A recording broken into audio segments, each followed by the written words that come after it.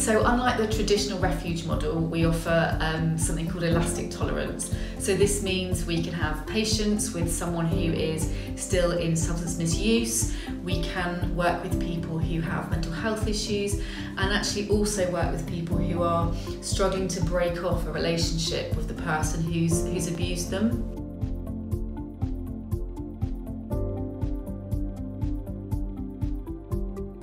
At first, it was I was um, all over the place probably for the first sort of ten months or so, and then you know, and I needed that at the start. I needed, you know, if I if it was somewhere where they have like an elastic tolerance on sort of substances, and had they not had that, I would have just been homeless again. So.